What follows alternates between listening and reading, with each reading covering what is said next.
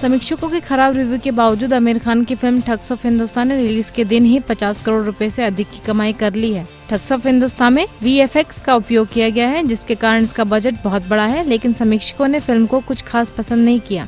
हालाँकि ये film release के दिन भारत में सबसे ज़्यादा कमाई करने वाली हिंदी फ़िल्म बन गई है। फ़िल्म व्यापार विश्लेषक तरण आदर्श ने ट्वीट किया। उन्होंने एक और ट्वीट कर कहा। IANS report.